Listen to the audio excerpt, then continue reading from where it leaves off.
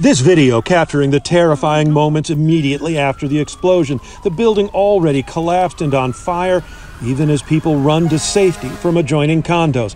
That fire fueled by a ruptured gas line a natural gas escape, the suspected but unconfirmed cause of the explosion. Residents telling stories of rescues, parents with their children being helped from the building even before fire crews arrive. In all, medics care for 12 people. Two are in critical condition, the rest with minor to moderate injuries.